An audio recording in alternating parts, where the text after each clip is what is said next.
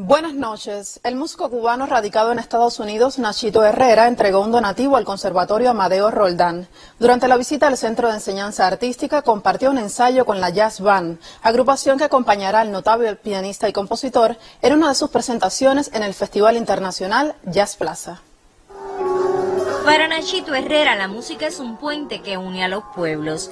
El artista cubano, radicado en los Estados Unidos desde hace más de 20 años, viajó desde Minnesota a La Habana con una carga solidaria estimada en un millón de dólares. Junto a los insumos médicos estaban los instrumentos musicales que donó al Conservatorio Amadeo Roldán. Clarinetes, flautas, trompetas y tecnología para la enseñanza de la música figuran en el regalo a alumnos y profesores.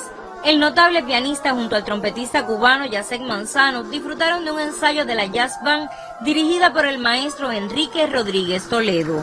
La agrupación juvenil acompañará a Nachito Herrera en el concierto Cuba Vive, que ofrecerá junto a otros músicos el 23 de enero en el Castillo de San Salvador de la Punta. Se la puse un poquito difícil para motivarlo a que sigan estudiando, esforzándose, porque es lo que necesitamos nosotros, la generación nuestra, que un día estuvimos caminando por estos mismos lugares. En la visita al Amadeo Roldán del pianista y compositor, ganador de dos Grammy Latino, y de la productora Aurora González, anunciaron que pronto la escuela recibirá un piano inmobiliario destinado al montaje de una sala de concierto.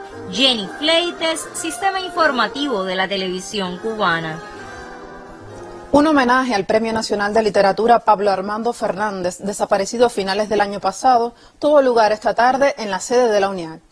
Sus amigos Nancy Morejón, Miguel Barnett y Antón Arrufat resaltaron no solo sus cualidades intelectuales, que fueron muchas, sino sus proyecciones ante la vida.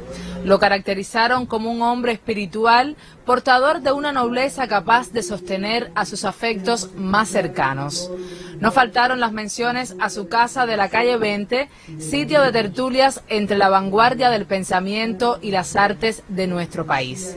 Las melodías que Harold Gramash dedicara a Pablo Armando Fernández, interpretadas por el dúo de guitarras Contraste, hicieron que familiares, compañeros y admiradores del escritor lo rememoraran no solo a través de sus versos, sino también desde la música.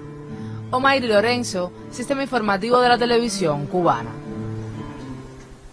El espectáculo Año Nuevo, Risa Nueva en su segunda temporada se presentará de viernes a domingo en el Teatro Miramar.